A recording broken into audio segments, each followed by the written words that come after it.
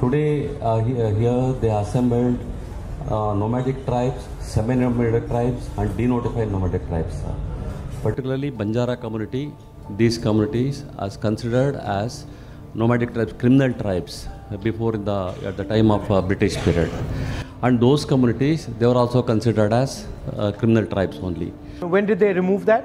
Well, 1952, So it was not removed by the British, it was removed by government. by the, by the uh, government of India, they have removed. Sir. बाद में Congress government आई। Congress government हमको AC दर्जे में कर्नाटक में AC दर्जे में डाले। हमार बेटा बोडी जो जको मलकेन साटा तोडीन जाच।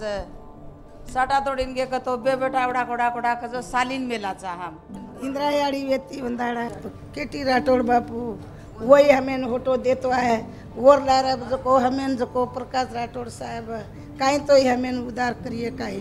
करन केताणी ना आमा।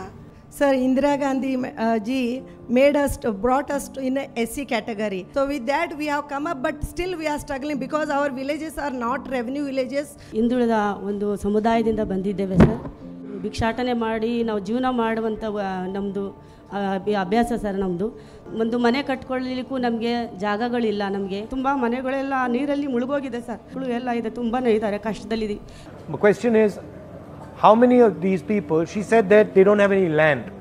So I am asking how many of the landless people from this community exist in this district ಒಂದು ಲಕ್ಷದ ಇಪ್ಪತ್ತಾರು ಸಾವಿರ ಜನ ಇದೆ ಸರ್. ಅಂದ್ರೆ ಈ ಸಮುದಾಯ ಎಲ್ಲ ಸೇರಿ? ಸಮುದಾಯ ನಾವು ಇರೋ ಜಾಗದಲ್ಲಿ ಒಂದು ಸ್ವಲ್ಪ ಕರೆಂಟ್ ಒಂದು ಕೊಟ್ಟಿದ್ದಾರೆ ಅಷ್ಟೊಂದು ಬಿಟ್ರೆ ನಮಗೆ ಸರ್ಕಾರದ ಸವಲತ್ತು ಏನೇನು ಇಲ್ಲ. Some of them of the doing in agriculture in the forest area what the forest settlement act we got it is only for the tribes for these schedule caste we are not able to provide them The bigger issue we have to take up here is for these people it is they have to show a record of 75 years. For ST they have to show a record of 25 years. So all of them are requesting that you also keep us in a par. This is the major concern for all of them.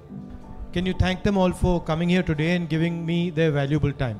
Some of these issues that they have discussed are fundamental to human dignity, and I can understand the difficulty they're going through. The Forest Right Act uh, is a very powerful legislation to help people who are living uh, in the forest region. And uh, when we come to power in Karnataka, we will look at the possibility of including them in that. I'd like to once again thank them all for coming here. Thank Namaskar. You. Namaskar.